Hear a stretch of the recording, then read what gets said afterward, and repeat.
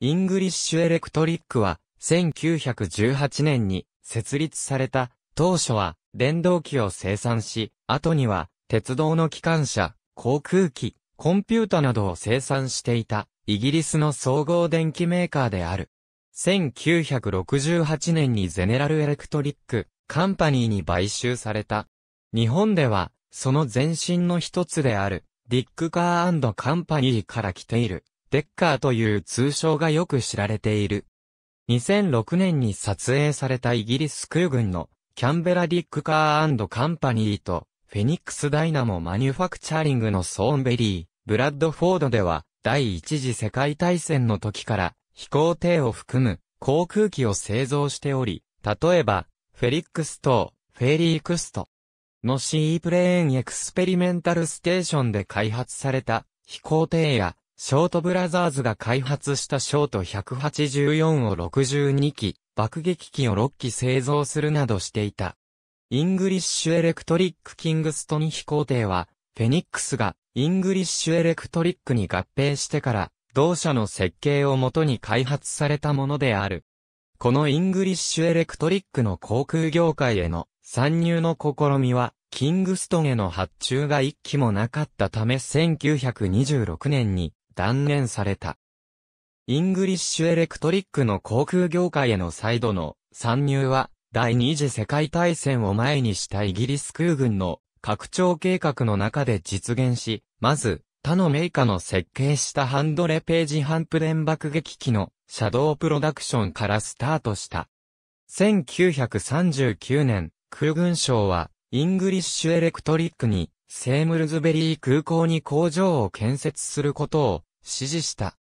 イングリッシュエレクトリックによるハンプデンの最初の機体は、1940年2月22日に初飛行し、1942年までに770機のハンプデンをセームルズベリー工場から送り出した。1940年、第2工場が建設され滑走路が延長されて、ハンドレページハリファックス重爆撃機の生産が開始された。1945年までに5つの工場と3つの滑走路が建設され、また、イギリス空軍第9集団の基地ともなった。戦争終結までに2000機を超えるハリファックスを含む3000機を超える爆撃機がセームルズベリーから送り出された。第二次世界大戦末からイングリッシュエレクトリックはイギリスの2番目のジェット戦闘機であるデハビランド・ヴァンパイアをセームルズベリーで1300機生産した。独自の機体設計は、元は、ウエストランドエアクラフトで設計を行っていた WEW ペターにより、第二次世界大戦後に始められた。ブリティッシュエアロスペースに合流する前に、イングリッシュエレクトリックが送り出した航空機は2種類しかないが、設計チームは多くの空軍のプロジェクトに助言を与えている。イングリッシュエレクトリックのコンピュータ事業への参入は RCA との契約によって始まった。最終的にはこの事業は ICL の一部となった。1963年に J、リオンズカンパニーの傘下のレオコンピュータとコンピュータ事業を統合してイングリッシュエレクトリックレオを設立した。さらにリオンズはその持ち分をマルコーニに売却し、マルコーニとイングリッシュエレクトリックレオを合併させて、イングリッシュエレクトリックレオマルコーニコンピューターズとなり、最終的には、 ICL になった。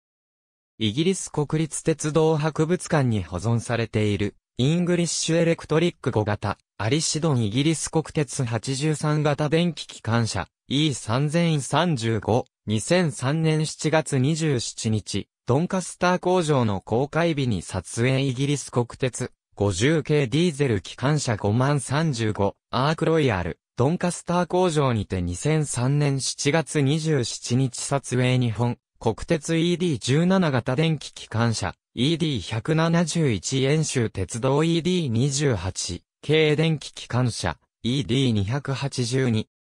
西武鉄道 E41 系電気機関車。E43 東武鉄道 ED10 系電気機関車 ED101 ニュージーランド国鉄 DF 型ディーゼル機関車 DF1501 ニュージーランド国鉄州型電気機関車タスマニア鉄道、X 型ディーゼル機関車、X20 エンジン鉄道車両香港の路面電車の1912年から1918年にかけての第2世代車両をユナイテッドエレクトリックカーが製造し、その会社をイングリッシュエレクトリックが買収している。その後、イングリッシュエレクトリックは、香港の第三世代路面電車を1918年から1930年代にかけて製造している。ありがとうございます。